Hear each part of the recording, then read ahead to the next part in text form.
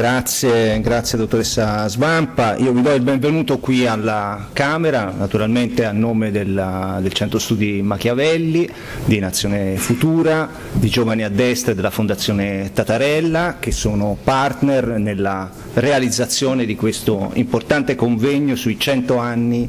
dalla eh, vittoria nella Prima Guerra Mondiale. Devo ringraziare tutti, tutti i relatori, eh, in primis il Presidente della, della, RAI Marcello Foghe che ci onora della sua presenza, naturalmente l'amico generale Marco Bartolini, Bertolini,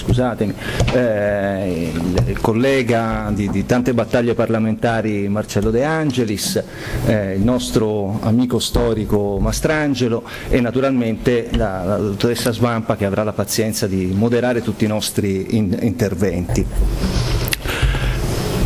Cento anni dalla, eh, dalla Grande Guerra, eh,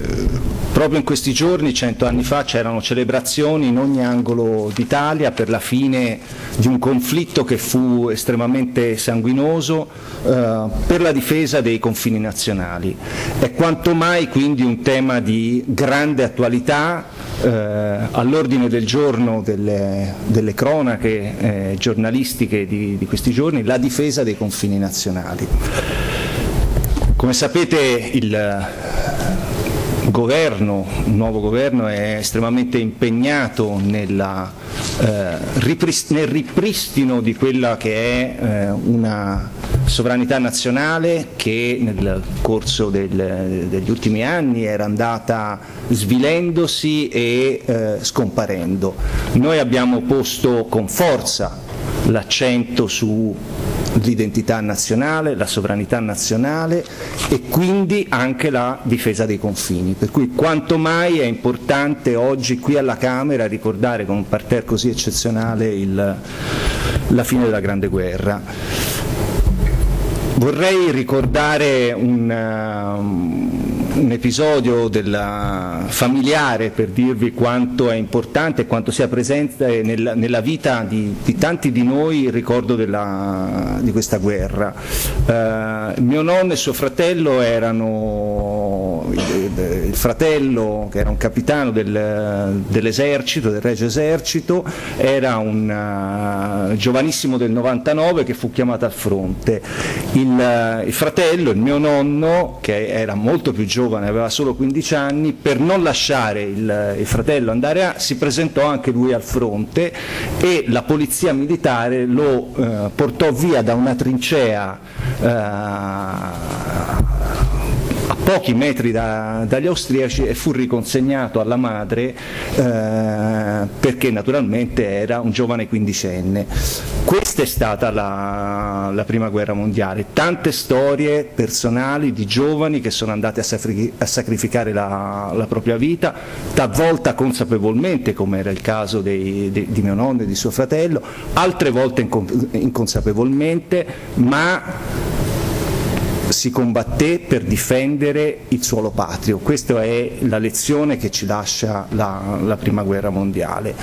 E ricordo lo dico, faccio le citazioni autobiografiche perché danno anche il dramma di quello che fu quella guerra. Il, il giovanissimo del 99, il fratello di mio nonno, fu esposto ai gas che gli austriaci eh, usavano nelle, nelle, trincee e morì eh, giovanissimo a 38, 37, 38 anni per gli effetti, quindi vent'anni dopo rispetto alla fine della guerra,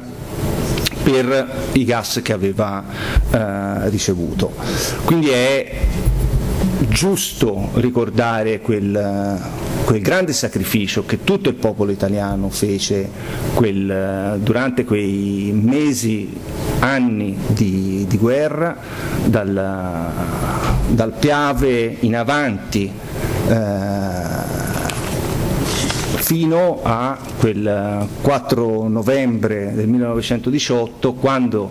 eh, il tricolore alla fine eh, fu issato a Trento da una parte sul castello del Buon Consiglio a Trento e dall'altro a Trieste questo è diciamo, l'eredità che noi abbiamo ricevuto, è l'eredità che noi oggi vogliamo celebrare e la risposta migliore della, di, quel, di, quel, ricordo è vedere così tanti giovani che oggi hanno voluto partecipare a questa eh, celebrazione. Quindi io vi ringrazio, vi auguro buon lavoro e posso solo dire che in un'occasione come questa non, la, non, la cambia, non lo scambiate come slogan politico, però fatemi dire veramente viva l'Italia, non uso dire Forza Italia, ma viva l'Italia. Grazie a tutti e buon lavoro.